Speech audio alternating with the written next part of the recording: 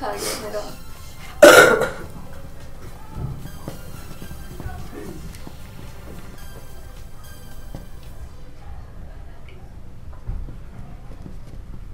Good morning and welcome to the Mighty News for January 29, 2019. I'm Tripit.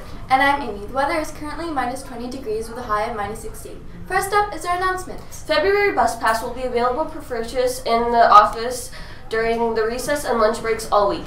Junior High Art Club is tomorrow at lunch in the art room. Running club members that haven't picked up your letter, please come to room 178 at recess today.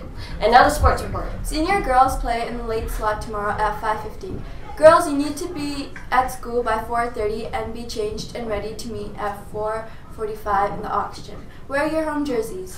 Junior girls play in the early game. All well-behaved fans should come and cheer them on.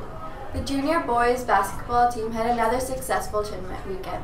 They came in first after two wins in a toss in a round robin played and defeating John Paul 2 7 2 7 4 60 74 64 in a redemption final at the Tiger in, um, Invitational.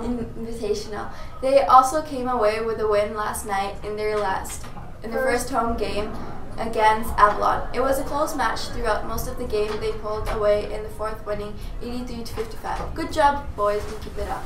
Congrats to the senior boys on a great win yesterday over Avalon.